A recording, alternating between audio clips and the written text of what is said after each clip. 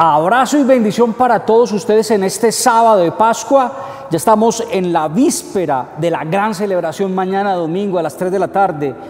Vamos a celebrar desde las 2 y media con una previa la gran fiesta de la Divina Misericordia. Estamos todo el equipo de producción, todas las personas que trabajan acá en la Arquidiócesis de Manizales, pero como ustedes saben hemos hecho una alianza con el gran canal Televid y también el canal de Televid se une a la celebración de la Divina Misericordia con una gran fiesta.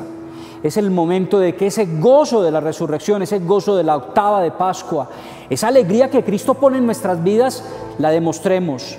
Importante, en la ciudad de Manizales y en las ciudades de alrededor estamos totalmente este fin de semana confinados. Hay confinamiento estricto, hay toque de queda, una oportunidad para que tú Mañana le digas a tus amigos, a tus familiares, a tus primos, le mandas el enlace y te puedes comunicar con todas las personas e invitarlas para que vivamos la gran fiesta del amor de Dios, de la misericordia divina.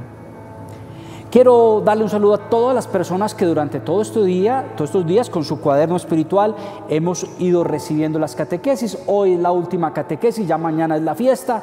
Mañana tendremos una gran previa con el canal Televid pero es el momento de recibir la catequesis del día de hoy. Ustedes saben que la catequesis ha sido muy práctica, cosas muy sencillas, un texto bíblico, cinco punticos en el día de hoy prácticos que nos enseña la divina misericordia y por lo último un pedacito, un trocito del diario de Santa Faustina. Vamos entonces con la catequesis para hoy sábado. Quise escoger de texto bíblico un texto del Magnificat ¿Recuerdan ustedes el cántico de la Virgen María? Proclama mi alma la grandeza del Señor, se alegra mi espíritu en Dios mi Salvador. Pues he querido traer un versículo de ese capítulo 1 del Evangelio de Lucas, el mariólogo, Lucas, el médico, Lucas que escribió el díptico de Lucas y Hechos de los Apóstoles, él, el gran enamorado de la infancia de Jesús y de la Santísima Virgen María, dice, pone en labios de la Santísima Virgen María esta frase tan linda, verso 49 y verso 50. Porque ha hecho en mi favor cosas grandes el poderoso, santo es su nombre. Y viene ahí, y su misericordia alcanza de generación en generación a los que le temen. Así que la misericordia de Dios para con nosotros no es dada con un, con un cuentagotas. ¿Conocen ustedes los cuentagotas de los remedios? Una gotica, no, no, no. Es un caudal. Pero también me gusta que coloca a los que le temen. Recuerdan que el libro de la sabiduría dice que el primer, el primer principio de la vida santa, de la vida espiritual, es el temor a Dios, que no es tenerle miedo a Dios. ¿Cómo le vamos a tener miedo a quien tanto nos ama? El temor de Dios tiene que ver con el respeto, con la reverencia con entender el lugar tuyo y el lugar mío, y el lugar de Dios. Dios creador, tu criatura, Dios rey soberano, tu siervo, esclavo de Él. ¿Para quién vivimos? Para Dios. ¿Qué queremos hacer? Su voluntad. Nunca, que es el gran pecado del hombre de hoy y el, del hombre a través de toda la historia. El hombre siempre ha querido que ponerse en el lugar de Dios, ocupar el lugar de Dios, usurpar su lugar. Y entonces muchas veces el hombre es como dándole sugerencias a Dios. Tú tienes que cuidarte, yo me tengo que cuidar. ¿Cuántas veces llegamos a sus pies y decimos, Señor, bueno, vengo a hacer tu voluntad, pero tu voluntad tiene que ser así, así, así. Estas son las condiciones para ser feliz. No me puede faltar esto y esto y esto. Y así sí cuadramos y así te amo. Eso no es docilidad, eso no es humildad. La misericordia de, de Dios nos llega de generación en generación. El amor que recibió la Virgen María, lo recibes tú en tu casa. El amor que recibió San Pablo, lo recibes tú en tu casa. Las gracias y bendiciones que recibió la iglesia primitiva, allá con Pablo, con Pedro, las recibes tú. La de todos los santos. Piensa la misericordia que, que han recibido tus santos preferidos. En el caso mío, San Pío de Pietrelcina, San Maximiliano María Colbe, San Juan María Vianney, Santa Teresa Benedicta de la Cruz, todas esas gracias, todas esas bendiciones por los méritos de Cristo llegan a nuestra vida, a nuestro corazón. Así que hoy sintamos que esa misericordia que tú recibes también la reciben los tuyos. Tu prole, tu descendencia, tus hijos, las personas que tú amas, siempre con humildad, siempre con temor de Dios. A veces somos muy arrogantes, a veces vamos por la vida con tanta soberbia, vamos en la vida como, como si no hubiera nada que nos pueda detener. Y por eso la enfermedad a veces, por eso el sufrimiento y por eso la muerte, para que nos recuerden nuestros límites, para que nos bajen de nuestra soberbia, porque tú y yo no somos dueños ni de nuestra vida ni la vida de los demás. Ahí siguen intentando, este, esta semana en Colombia, a los congresistas que se les volvió a caer ese intento que cada, cada mes, cada, cada legislatura sale un proyecto ah, buscando la eutanasia. Pues no, no prosperó, pero ellos lo van a intentar, lo van a intentar. Con mucho dolor tengo que decirles también, y voy a pedirles a ustedes que, que lo pongamos acá a los pies de la Divina Misericordia, pues en Colombia hay un gran hueco fiscal, hay una gran, gran necesidad de dinero, yo no sé cuántos billones de pesos. Y entonces salen ideas peregrinas, populistas, ideas que, que no tienen un conocimiento de lo que es la iglesia, de que entonces la iglesia tiene que pagar impuestos. Hermanitos, para todos los que son colombianos, la iglesia paga impuestos, en primer lugar. Que quede muy claro y dígale usted al hermano católico que es católico no practicante o a esas personas que no son practicantes y que siempre están enrostrando a la iglesia eh, los millones, el gran caudal de riquezas que tiene. En primer lugar, nosotros tributamos. En segundo lugar, y perdonen que de pronto alguna persona se pueda sentir lastimada por lo que voy a decir, pero es muy distinta la administración del dinero como lo hace la Iglesia Católica en la historia de la Iglesia Católica en Colombia a cómo lo hacen las iglesias evangélicas o protestantes. Si nos meten a todos en una misma bolsa, va a ser difícil. Tercero, cuando yo escucho a los congresistas, cuando yo escucho a estos congresistas progresistas decir que tienen que apretar a la iglesia Creo que hay un gran desconocimiento de lo que es la iglesia.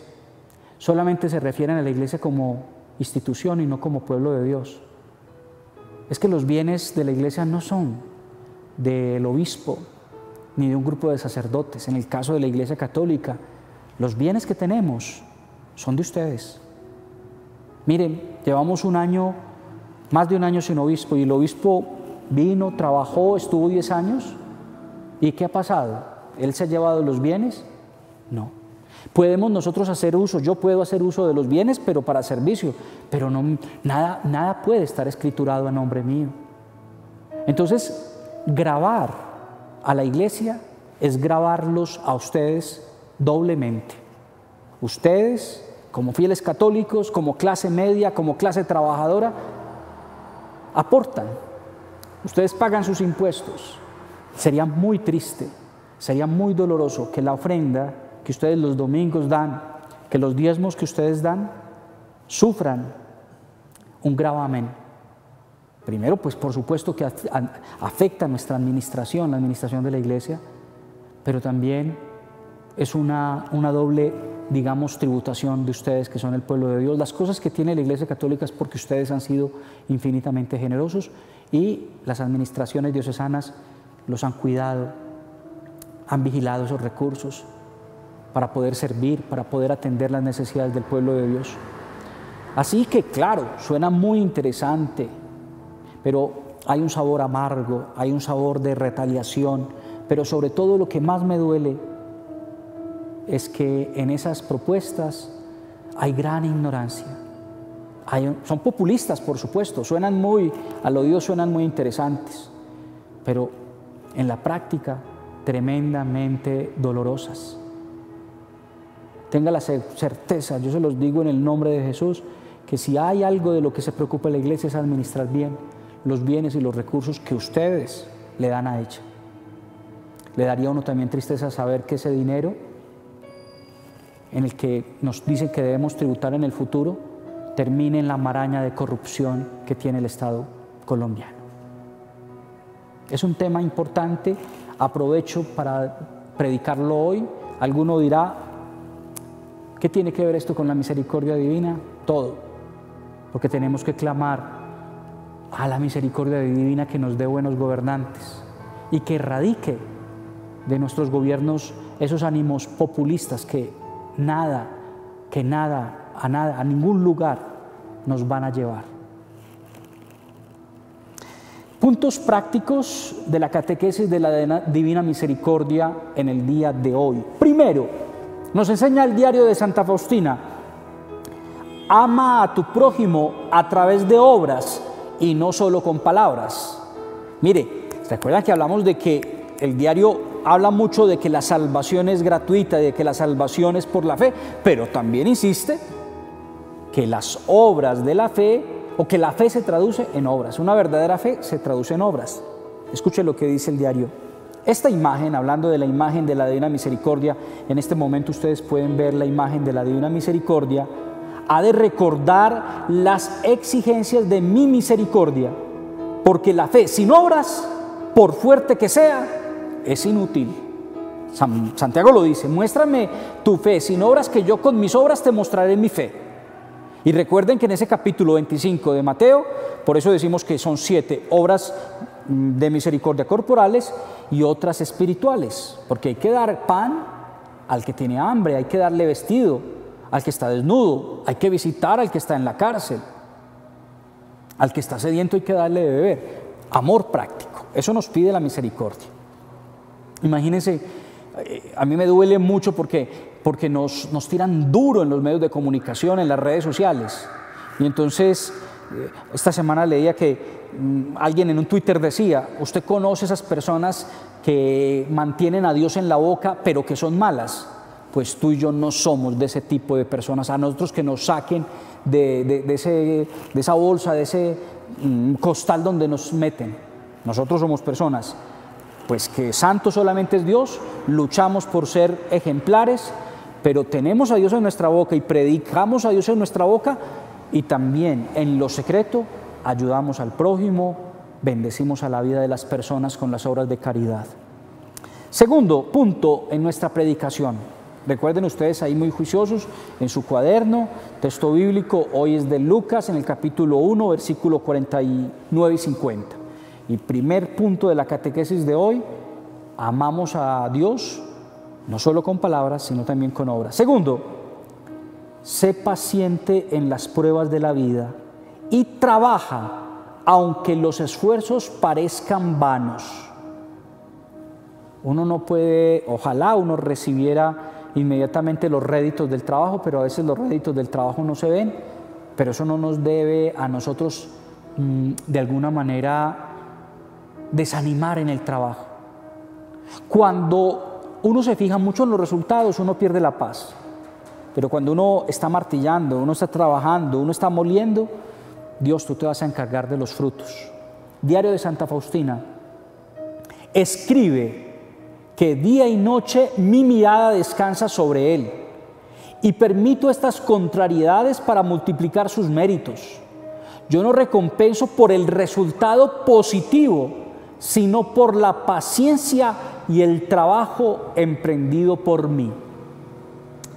Estaba yo hace 20 años como joven sacerdote en Salamina. Me acuerdo que me mandaron a una Eucaristía a una vereda que se llama El Limón.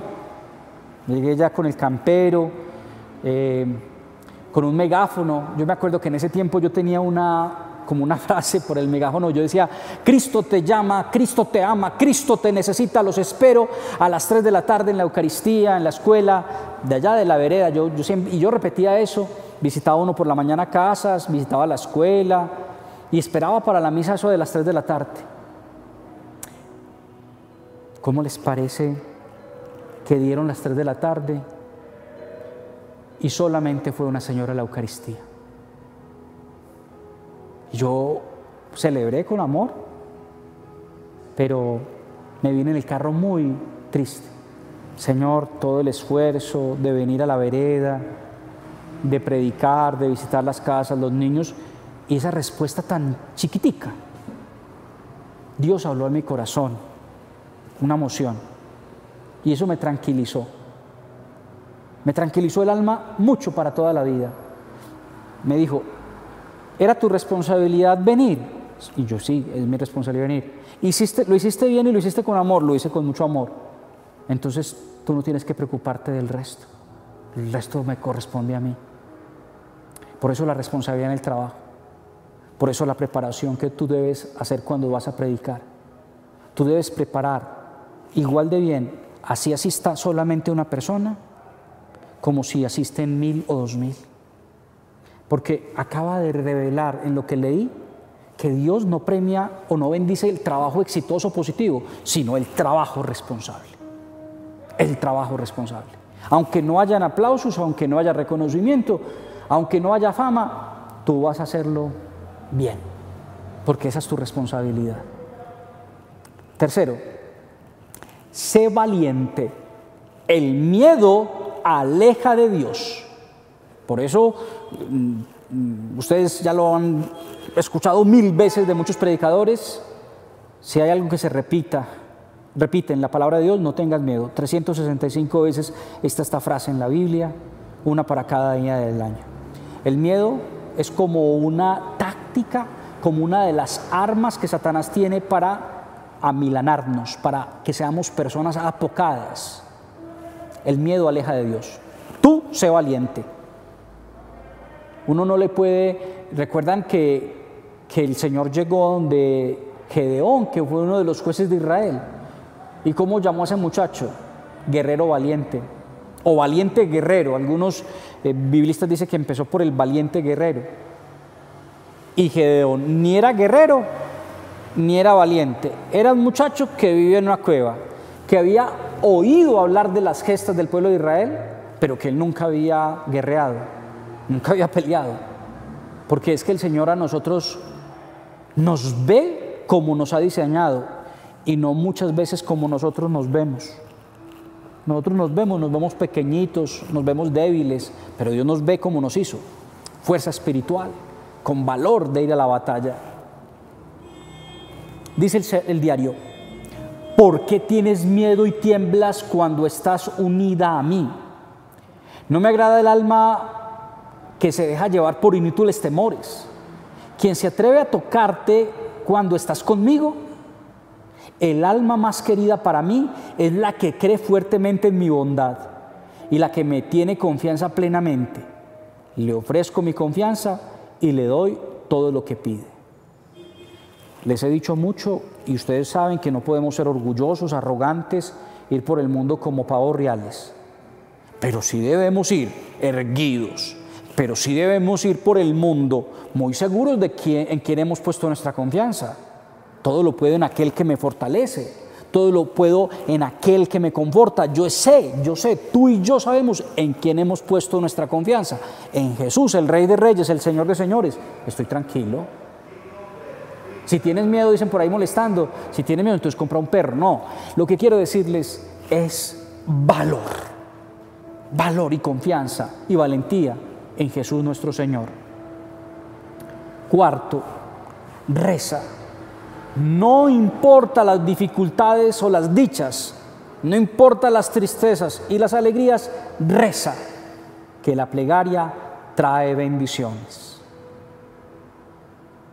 Y esto lo, sabe mucho la gente del pueblo de Dios, porque ustedes le dicen a uno, Padre, yo estoy aquí rezando porque cuando tuve, estuve muy alejado de Dios. Cuando estuve en las buenas, ahora que estoy en las malas, estoy buscándolo. Hay que rezar, siempre, en las buenas y en las malas, en las dichas y en las tristezas. Le dijo Jesús a Santa Faustina, Jesús me enseñó cuánto le agrada la plegaria reparadora, me dijo, la plegaria de un alma humilde y amante aplaca la ira de mi Padre y atrae un mar de bendiciones. Importante. Llevar y reparar. Señor, aquí estamos orando por los que no oran, por los que están alejados. Creemos por los que no creen, te amamos por los que no te aman, confiamos, Jesús, por aquellos que no confían en ti. reparamos de alguna manera cuando oramos. Quinto y último, algo muy hermoso y práctico. Tan bueno las cosas prácticas, simples, que tú las puedes unir, escribir, perdón, y tú dices, esto lo puedo enseñar y lo puedo vivir. Evita las murmuraciones y los chismes como una ruina y es mejor el silencio. ¡Wow! Esto nos cae a todos los que somos tan hablantinosos. Escuchen lo que le escribió. Si se observara rigurosamente el silencio, no habría murmuraciones, amarguras, maledicencias, chismes. No sería tan maltratado el amor. En una palabra, muchas faltas se evitarían. Los labios callados son el oro puro y dan testimonio de la, de la santidad interior. Y no nos digamos mentiras, y esto lo estoy aplicando para mí. ¿Por qué nos falta tanta santidad en la iglesia? ¿Por qué te falta santidad a ti y a mí? Porque somos muy hablantinosos. Siempre tenemos que estar hablando. Hay personas que no se pueden callar. Yo me doy cuenta en los retiros espirituales, yo me doy cuenta en, los, en los encuentros que tengo con personas, esa necesidad de buscar quién me converse o a quién conversar. Y a veces eso lo, lo podemos escudar, nos podemos escudar, no es que yo estaba evangelizando. ¿Cuánto, cuánto bien nos haría a ti y a mí espiritualmente callar un poco más, hacer silencio? Ese sería un, un crecimiento muy bonito, muy bonito para nuestra vida espiritual si tomáramos la decisión de callar un poco más y de no hablar tanto, de no hablar tanto. Le cito el diario. Escuchen esto para ti, para mí, que nos gusta darle patadas al sufrimiento. Llega el sufrimiento, llega la prueba, llega la dificultad y nosotros queremos sacarlo, darle una patada. No queremos sufrimiento, no queremos pruebas. Odiamos las tentaciones como si no nos fueran a llegar por darle patadas sabiendo de que el Señor no nos dice que no van a llegar, sino que no nos va a dejar caer en ellas. El sufrimiento. Mire lo que aprendió Santa Faustina. El sufrimiento es el tesoro más grande que hay en la tierra. Purifica el alma en el sufrimiento conocemos quién es nuestro verdadero amigo. ¿No te has dado cuenta de que cuando estás sufriendo, cuando hay un momento difícil, todos los que se decían amigo, amigos tuyos te dan la espalda? En el sufrimiento sabes, sabe uno quién, quién es el que está con uno verdaderamente. El amor verdadero, el amor verdadero se mide con el termómetro, del sufrimiento. Diario de Santa Faustina, número 342. Y les leo también el 276. Desde el momento en que empecé a amar el sufrimiento, este mismo dejó de ser sufrimiento para mí. El sufrimiento es el alimento continuo de mi alma. Alguna persona que no conozca la palabra de Dios, que no sea católica, inmediatamente se viene en lanza ristre contra el diario y contra mí, porque puede pensar que yo estoy hablando de como de cierto masoquismo, como de cierto comportamiento sádico, y no. ¿Por qué? Porque como el mundo cayó por el pecado, el sufrimiento es una realidad que a todos nos toca por A, por B, por C. Además, por el regalo de la libertad, tenemos, somos interdependientes, tenemos familia. Y las decisiones que toman nuestra familia pueden ser decisiones absurdas que nos terminan afectando a nosotros y nos hacen sufrir. ¿Qué debemos hacer? Amar, tomar ese sufrimiento y llevarlo en paz. ¿Por qué tanta angustia en nuestra vida? ¿Por qué tanta desazón? ¿Por qué tanta enfermedad? Porque no amamos el sufrimiento, sino que lo rechazamos. Y solo estamos contentos y felices cuando el sufrimiento se va de nuestra vida. El día que aprendamos eso, amar las pruebas, amar los sufrimientos, decir, Señor, es que estos sufrimientos son el camino para llegar al cielo, nuestra vida será totalmente distinta. Habrá gozo, habrá felicidad en medio de la prueba. Vamos a tomar nuestra camándula y vamos a descansar en la fuente de la misericordia en este último día de preparación para mañana poder celebrar desde las dos y media de la tarde la gran fiesta de la misericordia divina. Si tiene alguna intención para la misa de mañana a las 3 de la tarde o a las 7 de la mañana o al mediodía también, usted puede escribirnos al WhatsApp de la Arquidiócesis de Manizales y con mucho gusto nosotros vamos a presentar esa petición en la Eucaristía. Recuerde que con el dinero que usted nos dona por esa intención, está apoyando este ministerio de comunicaciones de la Arquidiócesis de Manizales.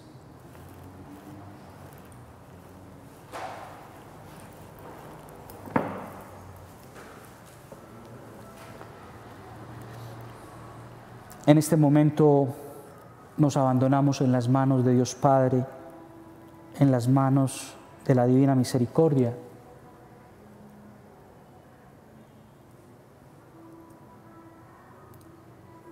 Y sabemos que el Señor nos trae su, su descanso, su refugio, su ayuda. Por la señal de la Santa Cruz de nuestros enemigos Líbranos, Señor, Dios nuestro. En el nombre del Padre, y del Hijo, y del Espíritu Santo. Amén. Expiraste Jesús, pero la fuente de vida brotó para las almas y el mar de misericordia se abrió para el mundo entero. Oh fuente de vida, insondable misericordia divina, abarca el mundo entero y derrámate sobre nosotros oh sangre y agua que brotaste del corazón de Jesús como una fuente de misericordia para nosotros, en ti confío. Padre nuestro que estás en el cielo, santificado sea tu nombre, venga a nosotros tu reino, hágase tu voluntad en la tierra como en el cielo.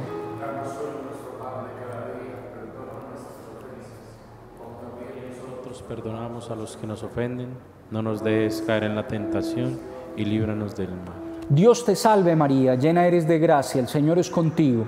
Bendita eres entre todas las mujeres y bendito es el fruto de tu vientre Jesús. Santa María, Madre de Dios, ruega Señora por nosotros los pecadores, ahora y en la hora de nuestra muerte. Amén. Creo en Dios, Padre Todopoderoso, Creador del cielo y de la tierra. Creo en Jesucristo, su único Hijo, nuestro Señor, que fue concebido por obra y gracia del Espíritu Santo.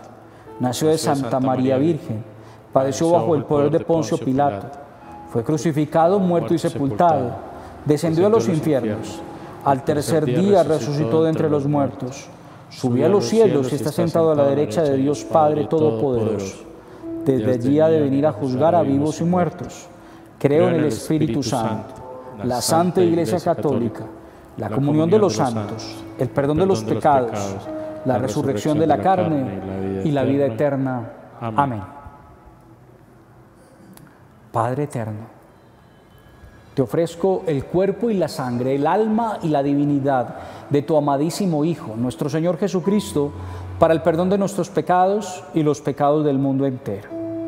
Por su dolorosa pasión Ten misericordia de nosotros y del mundo entero. Por su dolorosa pasión. Ten misericordia de nosotros y del mundo entero. Por su dolorosa pasión. Ten misericordia de nosotros y del mundo entero. Por su dolorosa pasión. Ten misericordia de nosotros y del mundo entero. Por su dolorosa pasión por su dolorosa pasión. Ten misericordia de nosotros y del mundo entero. Por su dolorosa pasión. Ten misericordia de nosotros y del mundo entero. Por su dolorosa pasión. Ten misericordia de nosotros y del mundo entero por su dolorosa pasión, ten misericordia de nosotros y del mundo entero. Por su dolorosa pasión, Ten misericordia de nosotros y del mundo entero. Padre eterno, te ofrezco el cuerpo y la sangre, el alma y la divinidad de tu amadísimo Hijo, nuestro Señor Jesucristo, para el perdón de nuestros pecados y los pecados del mundo entero. Por su dolorosa pasión, Ten misericordia de nosotros y del mundo entero. por su dolorosa pasión, Ten misericordia de nosotros y del mundo entero. por su dolorosa pasión, Ten misericordia de nosotros y del mundo entero. Por su dolorosa pasión, Ten misericordia de nosotros y del mundo entero. por su dolorosa pasión, Ten misericordia de nosotros y del mundo entero. por su dolorosa pasión, Ten misericordia de nosotros y del mundo entero. por su dolorosa pasión, Ten misericordia de nosotros y del mundo entero. Por su dolorosa pasión, Ten misericordia de nosotros y del mundo entero. por su dolorosa pasión, Ten misericordia de nosotros y del mundo entero. por su dolorosa pasión, Ten misericordia de nosotros y del mundo entero. Padre eterno, te ofrezco el cuerpo y la sangre, el alma y la divinidad de tu amadísimo Hijo, nuestro Señor Jesucristo, para el perdón de nuestros pecados y los pecados del mundo entero. Por su dolorosa pasión, Ten misericordia de nosotros y del mundo entero. por su dolorosa pasión, Ten misericordia de nosotros y del mundo entero. por su dolorosa pasión, Ten misericordia de nosotros y del mundo entero. Por su dolorosa pasión, Ten misericordia de nosotros y del mundo entero. por su dolorosa pasión, Ten misericordia de nosotros y del mundo entero. por su dolorosa pasión, Ten misericordia de nosotros y del mundo entero. por su dolorosa pasión, Ten misericordia de nosotros y del mundo entero. Por su dolorosa pasión, Ten misericordia de nosotros y del mundo entero. por su dolorosa pasión, Ten misericordia de nosotros y del mundo entero. por su dolorosa pasión. Ten misericordia de nosotros y del mundo entero. Padre eterno, te ofrezco el cuerpo y la sangre, el alma y la divinidad de tu amadísimo Hijo, nuestro Señor Jesucristo, para el perdón de nuestros pecados y los pecados del mundo entero. Por su dolorosa pasión, Ten misericordia de nosotros y del mundo entero. por su dolorosa pasión, Ten misericordia de nosotros y del mundo entero. por su dolorosa pasión, Ten misericordia de nosotros y del mundo entero. por su dolorosa pasión, Ten misericordia de nosotros y del mundo entero. por su dolorosa pasión, Ten misericordia de nosotros y del mundo entero. por su dolorosa pasión, Ten misericordia de nosotros y del mundo entero. por su dolorosa pasión, Ten misericordia de nosotros y del mundo entero. por su dolorosa pasión, Ten misericordia de nosotros y del mundo entero. Por su dolorosa pasión, Ten misericordia de nosotros y del mundo entero. por su dolorosa pasión. Ten misericordia de nosotros y del mundo entero. Padre eterno, te ofrezco el cuerpo y la sangre, el alma y la divinidad de tu amadísimo Hijo, nuestro Señor Jesucristo, para el perdón de nuestros pecados y los pecados del mundo entero. Por su dolorosa pasión, Ten misericordia de nosotros y del mundo entero. por su dolorosa pasión, Ten misericordia de nosotros y del mundo entero. por su dolorosa pasión, Ten misericordia de nosotros y del mundo entero. por su dolorosa pasión, Ten misericordia de nosotros y del mundo entero. por su dolorosa pasión, Ten misericordia de nosotros y del mundo entero. Por su dolorosa pasión, Ten misericordia de nosotros y del mundo entero. por su dolorosa pasión, ten misericordia de nosotros y del mundo entero. por su dolorosa pasión, Ten misericordia de nosotros y del mundo entero. por su dolorosa pasión, Ten misericordia de nosotros y del mundo entero. Por su dolorosa pasión, Ten misericordia de nosotros y del mundo entero. Santo Dios, Santo fuerte, Santo inmortal, ten piedad de nosotros y del mundo entero. Santo Dios, Santo fuerte, Santo inmortal, ten piedad de nosotros y del mundo entero.